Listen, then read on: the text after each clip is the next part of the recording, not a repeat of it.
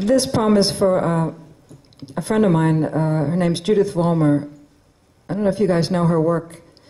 Uh, she has a book. Her latest book is called Reactor. She has a number of books, but she's she's a wonderful poet. So this is dedicated to her. It's not necessarily autobiographical. Uh, it's called The Phenomenology of Sex. I tell my friend Jude about the phenomenologist I'm dating. We were doing poppers in Texas in his living room and on our knees having sex. I turned around to look just before the big O and saw him chewing the wooden arm of the easy chair. And then you broke up with him? No, I didn't get the message.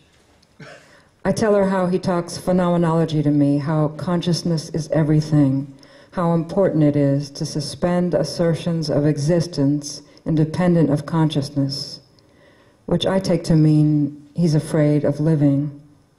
Jude says, the bottom line is he's chewing on the chair. what are you going to do?